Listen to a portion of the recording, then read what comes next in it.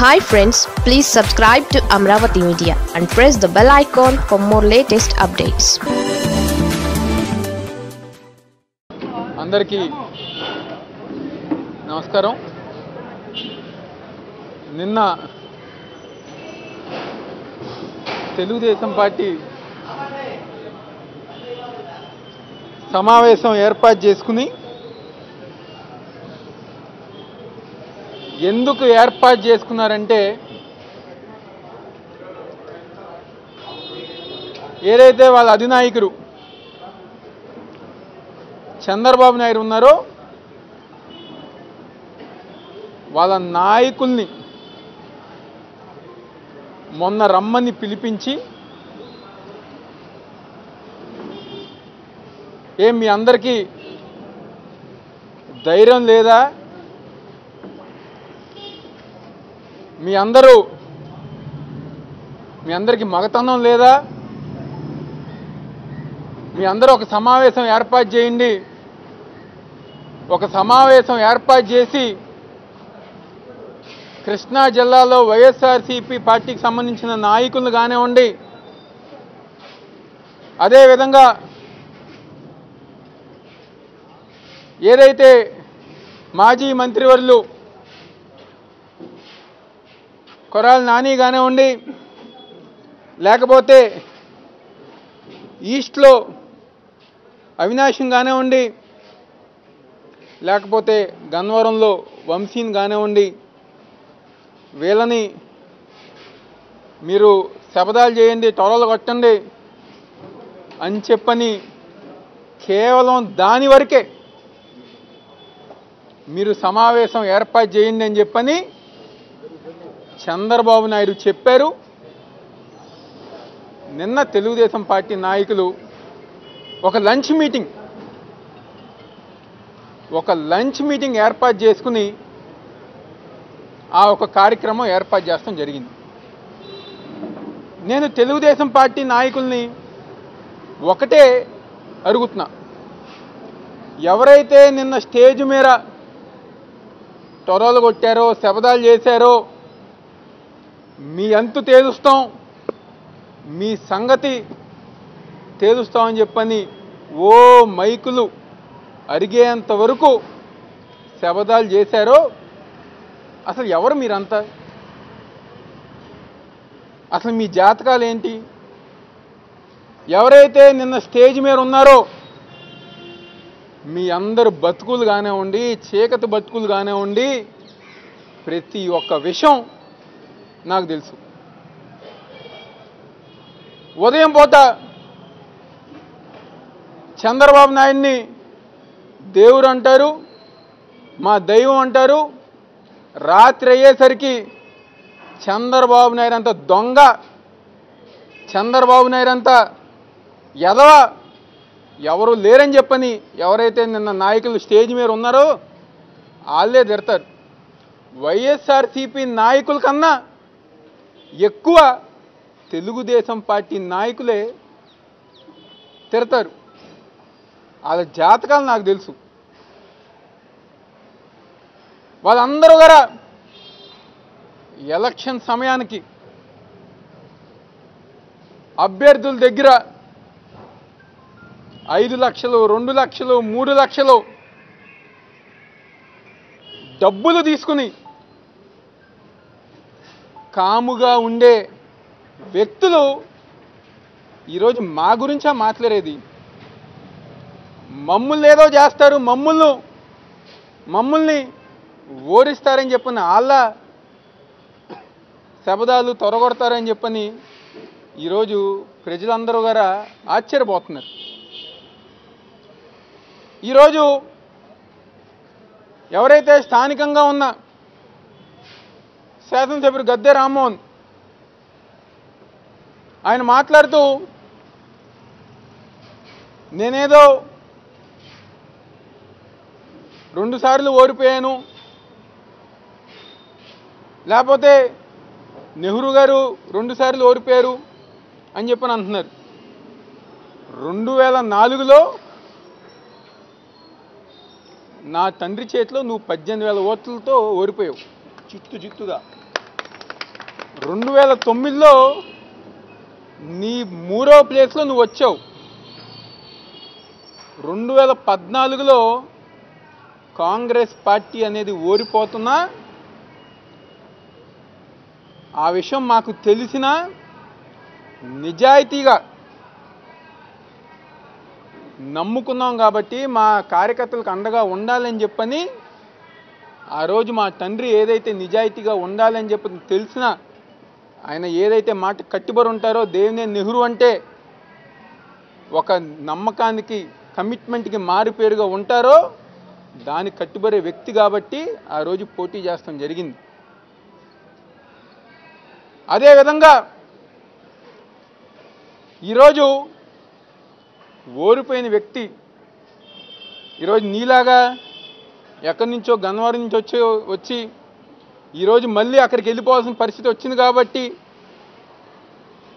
కాబట్టి ఏదో మాట్లాడితే చంద్రబాబు దగ్గర మార్కులు కొట్టేయాలని చెప్పని చంద్రబాబు దగ్గర మెప్పు పొందాలని చెప్పని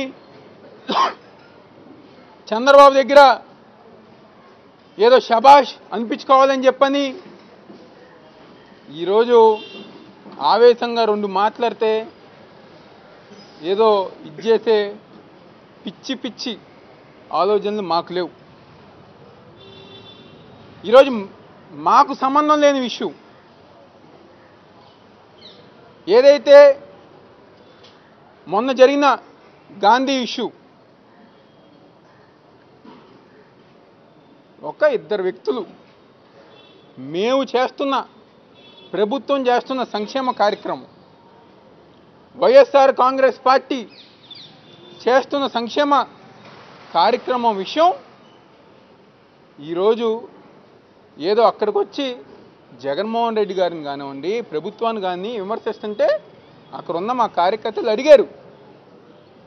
ఎందుకు మా- పార్టీని విమర్శిస్తామని చెప్పిన? అక్కడ జరిగిన ఒక చిన్న సంఘటన ఏదో జరిగిపోతుంది ఏదో చేస్తున్నారని చెప్పని ఏదో ఒక మా పార్టీని విమర్శించాలనుకున్నప్పుడు ఒక చిన్న సంఘటన జరిగింది. దాన్ని ఏదో మీరేదో చేద్దాం అనుకున్నారు.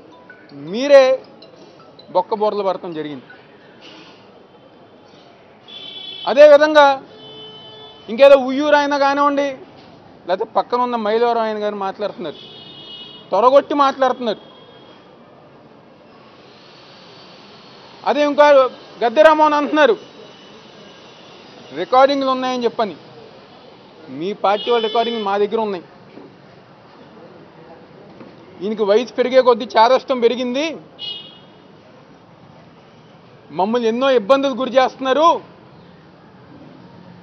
ఏం చేస్తున్నారో అర్థం కావట్లేదు. ముఖ్యంగా మహిళా తెలుగుదేశం పార్టీ మహిళా కార్యకర్తలు అయితే.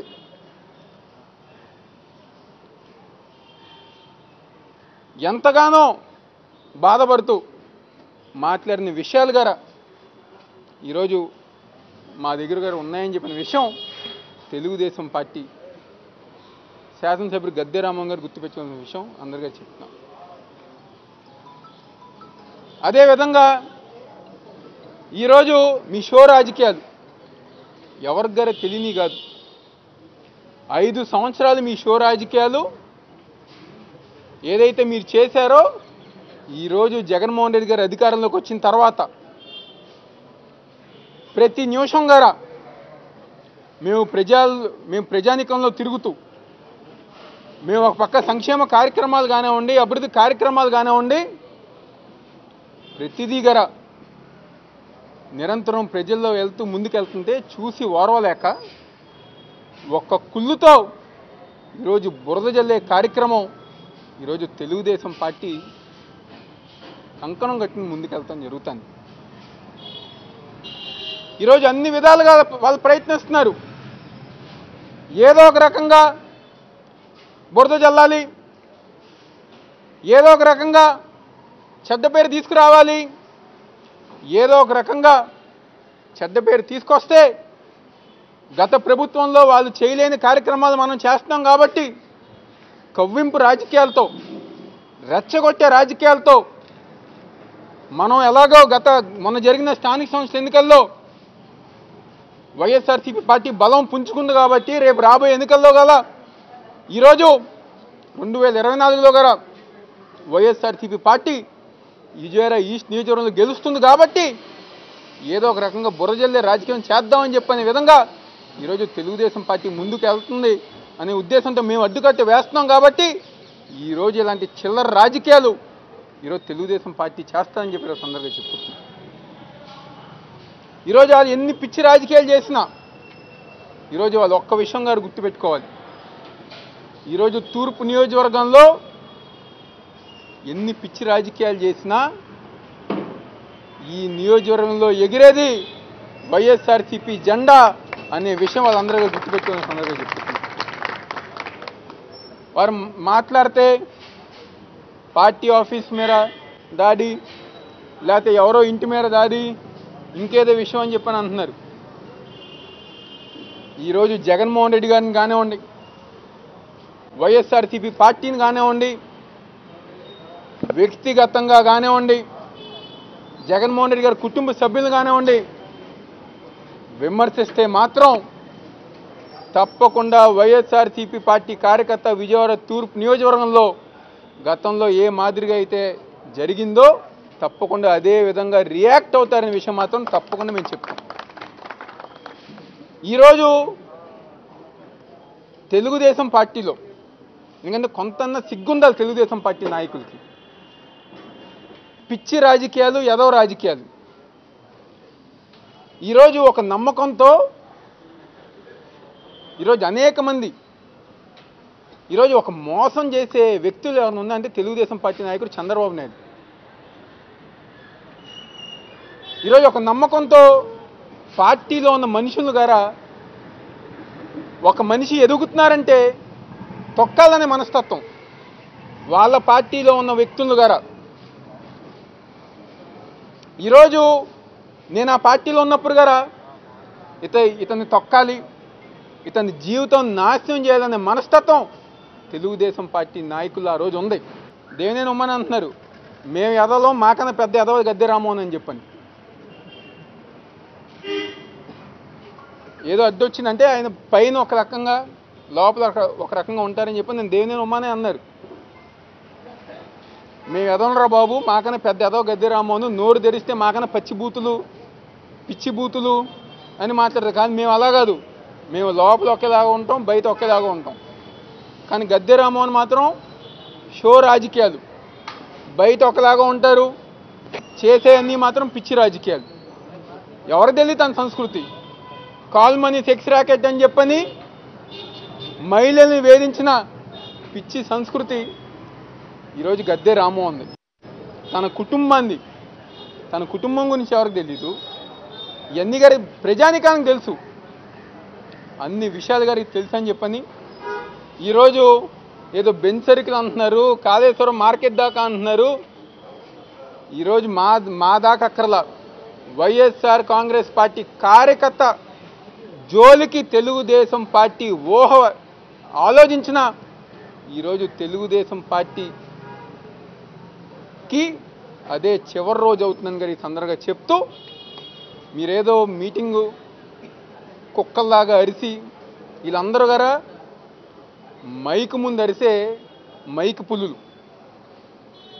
తర్వాత కారులు కారు ఎక్కగానే అందరు గారు వణికిపోయి ఏమైనా ఎక్కువ మాట్లాడామా మళ్ళీ మాకేమైనా అవుతుందా?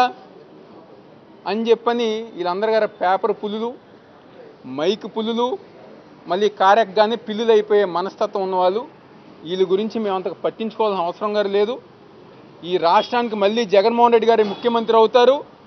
విజయవాడ నగరంలో కానివ్వండి తూర్పు నియోజకవర్గంలో కానివ్వండి లేకపోతే నిన్న వాళ్ళు శబరాలు చేసి తొరగొచ్చిన గురువారం ఉండి గన్నవరం ఉండి ఉమ్మడి కృష్ణా జిల్లాలో మొత్తం అన్ని నియోజకవర్గాల్లో వైఎస్ఆర్సీపీ పార్టీ జెండా ఎగరేసే విధంగా ప్రతి కార్యకర్త గారు పనిచేసుకుంటూ ముందుకెళ్తారని తొందరగా చెప్తూ మా ఎజెండా ఒకటే. సంక్షేమ కార్యక్రమాలు అభివృద్ధి కార్యక్రమాలు సేవా కార్యక్రమాలతో మేము ముందుకు వెళ్తాం కదా సందర్భంగా చెప్తూ సెలవు తీసుకుంటున్నాం.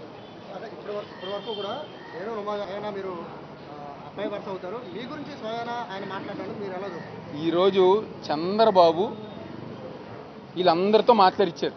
వాళ్ళకి భయం మొదలైంది. విజయవాడ నగరంలో పార్టీ అనేది తెలుగుదేశం పార్టీ అనేది మొత్తం గారా భూస్థాపితం అయిపోతాం కానీ భయం మొదలైంది. కాబట్టి అది వాళ్ళు మాట్లాడటం మొదలు పెట్టారు దేనేని ఉమావనవండి గద్దె రామ్మోహనవనవండి ఇంకేమనవండి ఈరోజు వాళ్ళ పరిస్థితి ఒక బీసీ నాయకుడు బుద్ధ అవమానం జరిగింది. దాని గురించి మాట్లాడమని చెప్పండి. దాని గురించి మాట్లాడమని చెప్పండి. ఇన్ని రోజులు చంద్రబాబు నా దయ్యం అని చెప్పి ఒక బీసీ నాయకుడికి అవమానం జరిగింది. దాని గురించి ఏం సమాధానం చెప్తారు వాళ్ళు? దాని గురించి మాట్లాడకుండా ఈరోజు ఇంకేదో ఇంకేదో చెప్తారు. వాళ్ళకి భయం మొదలైంది. విజయవాడ నగరంలో తెలుగుదేశం పార్టీ అనేది ఎవరు పట్టించుకోవట్లేదు. ప్రజలు పట్టించుకోవట్లేదు. వాళ్ళ కార్యకర్తలు పట్టించుకోవట్లేదు. కాబట్టి ఇలాంటి చిల్లర రాజకీయాలు పిచ్చి రాజకీయాలు తెలుగుదేశం పార్టీ చేస్తాను